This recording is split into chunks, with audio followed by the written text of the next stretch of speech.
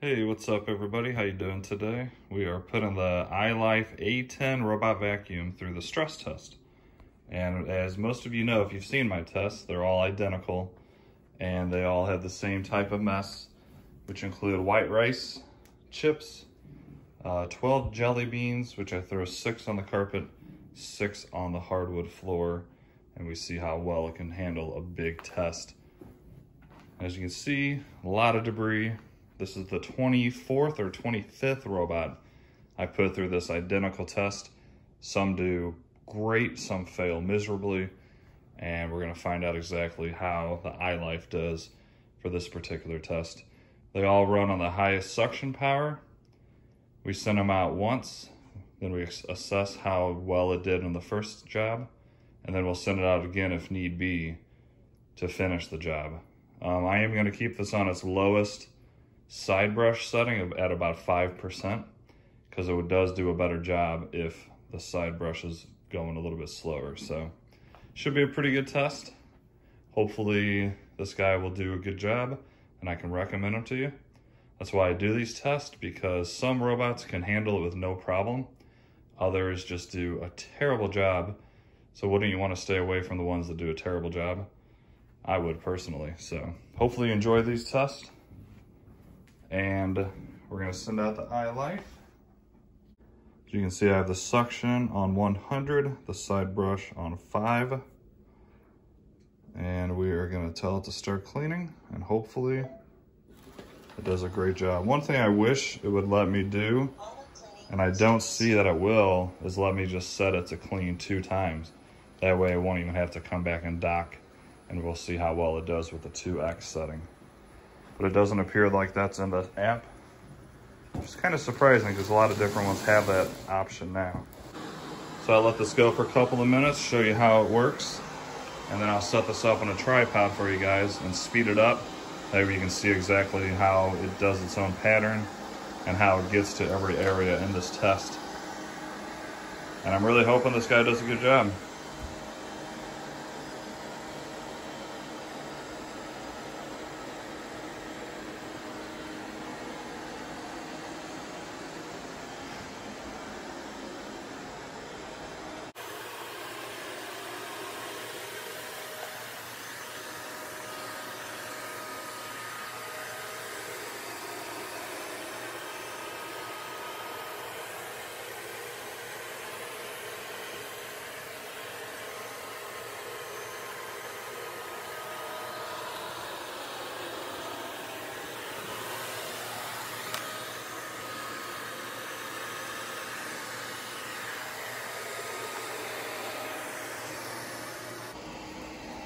All right, I'm gonna set this up on a tripod and enjoy. If you're new, please do me a favor, like and subscribe. It helps me out a lot, and I would really, really appreciate it.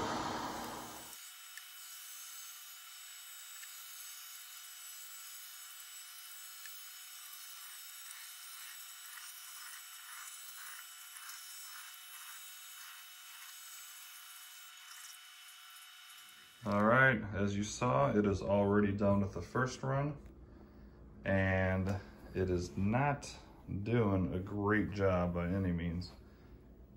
Now, there has been plenty of robots that have left this much after the first run, but in this test, we run them twice. So I will send this guy out one more time and we will see if it can clean up the rest of this mess. Another thing I don't do in this test is empty the dirt bin. I want to see if it can handle this big of a mess and get it all into the dirt bin. So that will not be emptied. And let's just go ahead and send it out again for the same exact run. I will say it cleaned that extremely quick at 11 minutes. That might be why it left such a big mess, is it's almost too quick.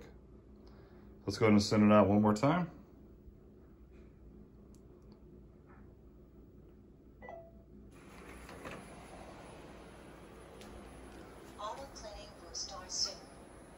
So this portion I usually do not record because it's basically going to do the same exact thing you already saw.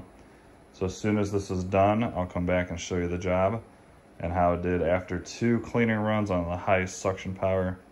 Usually I'd say at least half the robots I've tested, I would say has done great overall after two runs. Then there's been a few that still look terrible after two runs.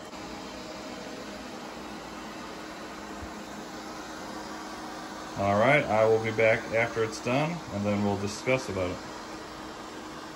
All right, we are done with test number two on 100%. What do you guys think? Do you think it did a much better job on that second run than it did the first? Let's take a look. So I'd say overall the carpet's looking pretty good.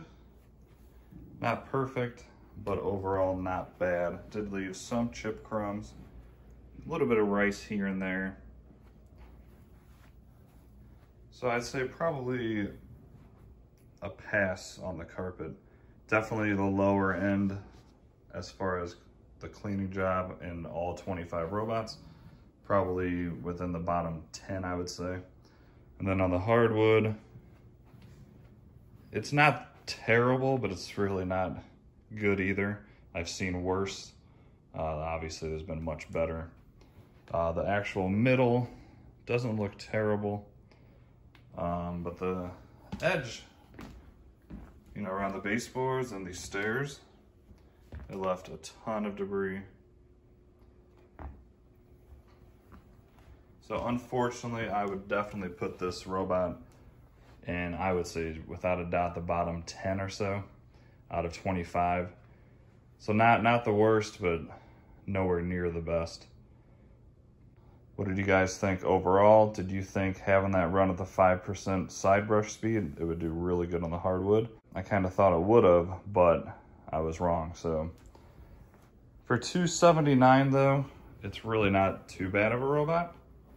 Uh, I always compare all these to the Roborock, which the Roborock, once again, my S5 did that test beautifully, but you're looking at quite a bit more money. So you get what you pay for if, if your budget is 300 or less, it's probably a decent option overall. All right guys, so that's gonna wrap up this stress test. Let me know in the comments what you think. Would you buy this robot vacuum at 279 And uh, have yourselves an awesome day. I'll see you in the next one.